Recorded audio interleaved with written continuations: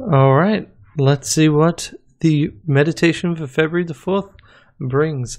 It is by Freya Campbell, 4th of February. I make the drive from the conservative county in, I've lived in for 23 years to Bristol, where I'll see live for the foreseeable future.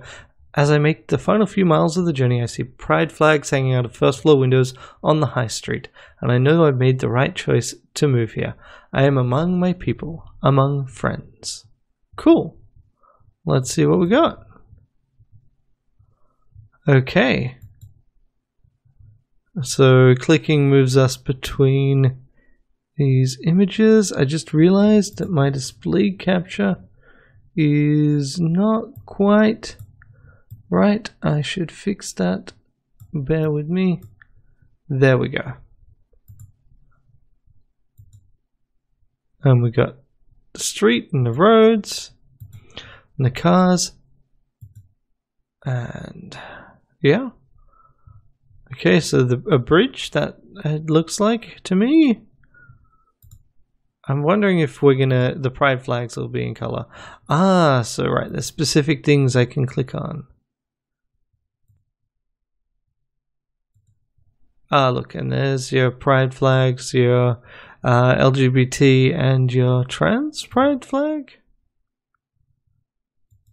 And is that it?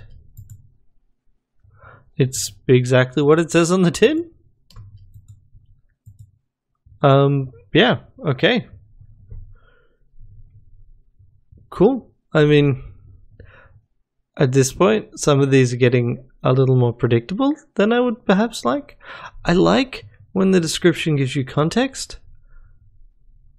but I don't quite like. Yes, this depicts a journey, um, and you know, I'm really glad that they were able to move to a place which provided them with that sense of community and comfort, and that's really important, especially when you move.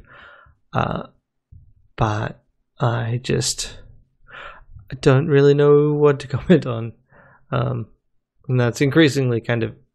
And this is a very meta comment, I realize, but that's increasingly a problem I have with this series. Is I'm not really sure what to say, and that's one of the reasons why I want to keep going. Is I want to get better at it can I wish there was a good way of saying I want to play again.